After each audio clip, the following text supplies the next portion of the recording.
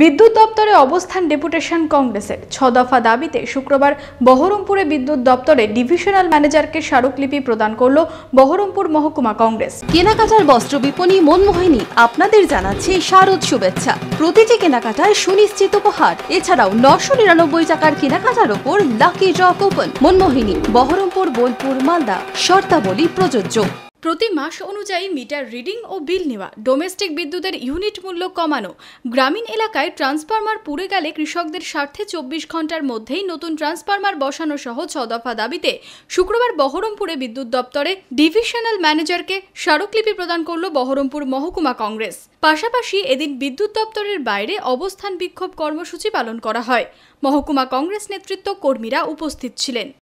মানুষের দৈনন্দিন জীবনে বিদ্যুতের ব্যবহার এবং তার বিভিন্ন দুর্নীতি এবং বিদ্যুৎ দপ্তরের খামখেয়ালিপনা নীতির জন্য মানুষের দৈনন্দিন জীবনে যে দুর্দশা নেমে আসছে, তার প্রতিবাদে আজকে ছ দফা দাবি নিয়ে মহকুমা কংগ্রেস, তারা ডিভিশনাল ইঞ্জিনিয়ারের অফিসে আজকে ডেপুটেশনে সামিল হয়েছে।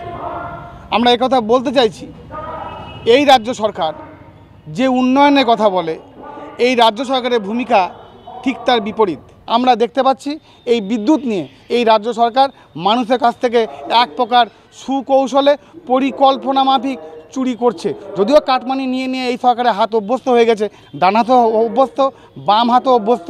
এখন বাম হাত, ডান হাত মিলিয়ে মুখ দিয়ে তারা এই বিদ্যুতের বিল মানুষের কাছ থেকে শোষণ করছে। তাই আমরা এই বিরুদ্ধে আজকে আন্দোলনে সামিল হয়েছি। যদি মধ্যবঙ্গ নিউজের এই খবরটি ভালো লেগে থাকে, তাহলে অবশ্যই একটি লাইক দেবেন এবং ইউটিউবে ইমার্জেন্সি টিভি চ্যানেলটি সাবস্ক্রাইব করবেন।